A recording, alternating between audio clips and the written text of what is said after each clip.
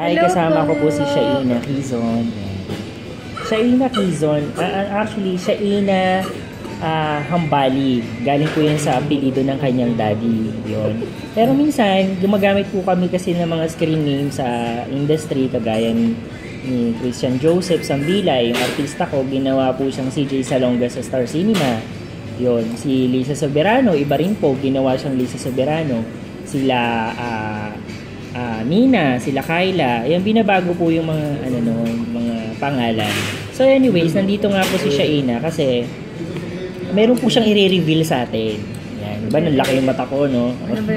So, si Shaina, isa po siya sa mga indie-indie artist, naging lead role din po siya sa mga indie film na ginawa ko. Ano po siya, ah, mahilig po siyang sumayaw. In fact, meron po siyang mga show ngayon. May guesting po sila sa Arellano University, meron din po sila sa March 24, tama ba? No? Na nakalimutan ho nilang bagitin kanina sa isang TV show. Ganyan po siya. Ulyanin po siya kahit na magaling po siya sumayaw. Charot. siya ina mag-share ka naman ng something. Ah, ano ba yung talent mo talaga? Ano ba yung pinaka-love mo? Yung nag-start po talaga ako sa dance, yun po talaga, 8 years old po ako, nag-start na po ako mag-ballet, na sumasayaw-sayaw, tapos nagko-compete na rin sa mga ibang lugar, ganon, sa buong Mindanao. Tapos, ang liit-liit ko pa dati, ganon. Ma- maliit na nga ako ngayon, mas maliit pa ako dati. Ang ilait niya yung sarili niya. Siyempre, baka maunahan nila ako direct. Ayun. Pagsasayaw. Opo. Mas gusto mo yung pagsasayaw. And then, acting, kasi yun na din po yung naging fashion ko na din po siya talaga. Oh. Naman, sa personality development, may acting workshop ka na rin naman.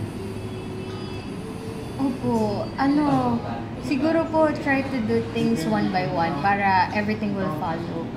Yung fall into places po siya ganun. Para hindi po masyadong mar-rush sa ano. Sinong inspiration sa, sa pagsasayaw? Siguro yung ano, yung kuya ko, yung pangalawa, kasi ganun siya din, sumasayaw din siya. Kaso ngayon masyado na siyang tutok sa pag-aaral niya, kaya ako magpapatuloy para sa kanya. Ah, talaga. Kaya ulitin natin. Kung meron kang gustong ipahayag sa pamamagitan ng pagsayaw, anong klaseng sayaw yon?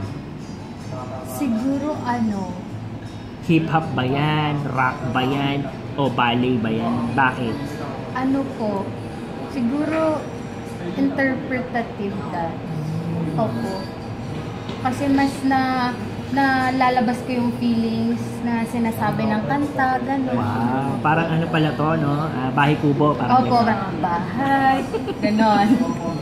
Chak lang po. Wow. O mat gustong matutong sumayaw, anong message mo sa kanila?